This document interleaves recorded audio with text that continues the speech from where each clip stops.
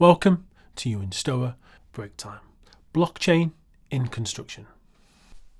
What do AI, machine learning, the Internet of Things, and big data all have in common?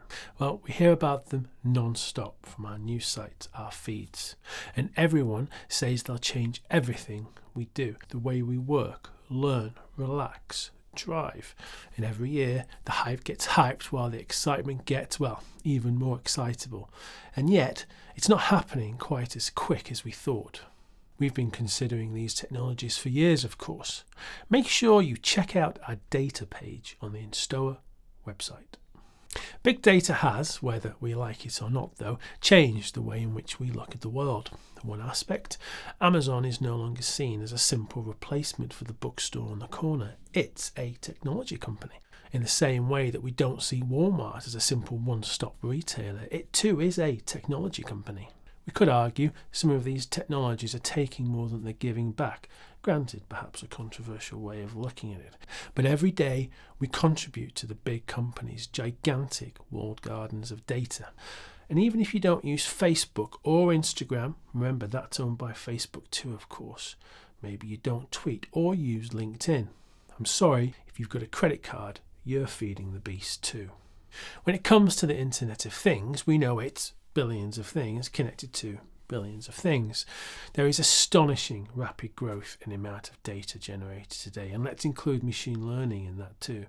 As this trend continues, we will accelerate away from data manually entered by humans or from integrating with other systems. Now, let's throw a dash of AI into our mixing bowl. It's been coming for a long time, and it will get here, but as it matures, they're slowly uncovering and understanding large, previously unknown challenges. So, where does blockchain fit into all of this? Well, don't worry, I'm not going to try and describe it right now. We'll include in the show notes an amazing TED talk given by Don Tapscott. Now, you could be forgiven for thinking blockchain is simply about cryptocurrency, but that would be like saying the movie Jaws was simply about a shark. Jaws was a genre defining blockbuster that literally changed the face of modern cinema. And yes, it had a shark in it, but it wasn't about a shark.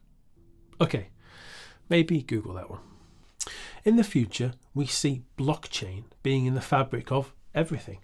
And right now, the concept of a smart contract is where it will all start. So, where does this leave us? Well, we, as humans, in general, constantly strive to create order out of chaos.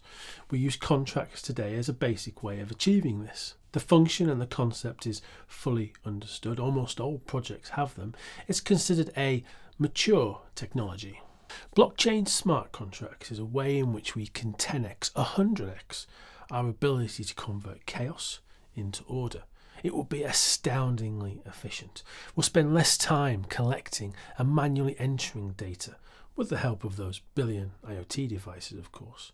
Then we'll backfill all that spare time with more considered decision making, all driven by higher quality data. This in turn will accelerate the reduction of bias, which, as we know, feeds on the lack of data, low quality data, and rushed decision making. Furthermore, it opens the gateway for the application of new blockchains to other areas of chaos that need addressing in our industry. This is real progress. But if we're not prepared for it, if we don't embrace it, well, where does that leave us? There are so many other exciting technologies out there too, of course. The work they've done over at what3words location based technology and the possible application for that. So perhaps as you've watched this and consider the possibilities in the future, we could focus on how we as individuals can make a difference. Yes, we all need to rework processes and contract relationships, whether you're an investor, owner, GC, contractor. But perhaps it's the individual who will lead this transformation. How do you work today? What could you change tomorrow? So it is in the fabric of everything. So you were prepared, so we're all prepared for the transformation coming.